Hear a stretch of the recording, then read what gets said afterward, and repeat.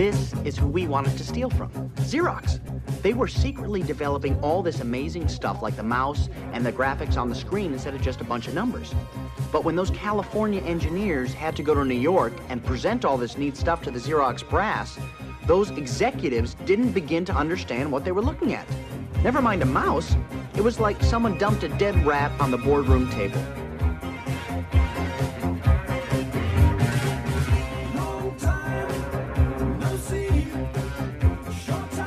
A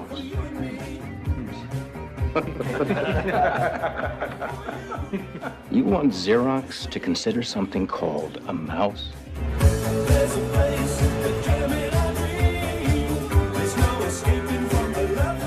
See, this is where Steve was a genius. Because he persuaded Xerox's head office into showing us all this incredible stuff their California guys had developed. I'm telling you, it was making their people absolutely nuts. Oh, God. Go. You know, I felt like one of the Mongol hordes coming to loot and plunder a bunch of defenseless villagers.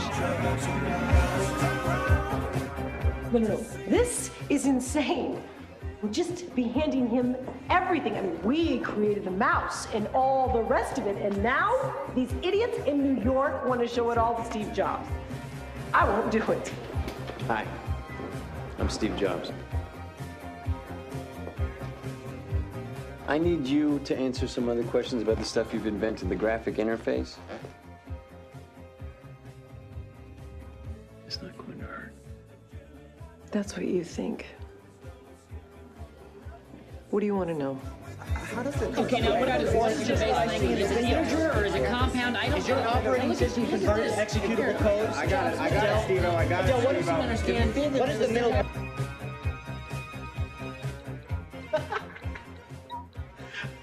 Pretty neat, right? Click, you're there. Click, you're somewhere else. This graphic interface stuff was like a miracle back then, and we got it. Steve got it from Xerox, who just turned it all over for us to fool with. Like, like rich people giving junky old stuff to the Salvation Army. Only the junk turns out to be a Rembrandt, about a hundred billion dollar head start on everyone else. Apple was making tons of money. I, it was great. And of course, I, I, I sort of lost my mind. I mean, it was all fun and games. I started buying really expensive toys. It was me with my own plane. Only problem was maybe I wasn't as good a pilot as I thought I was. I mean, it's one thing when computers crash, but planes, you don't want to know.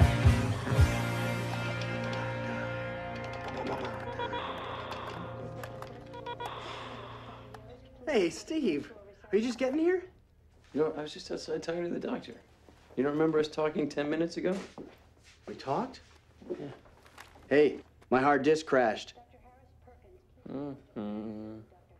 A computer guy with memory problems.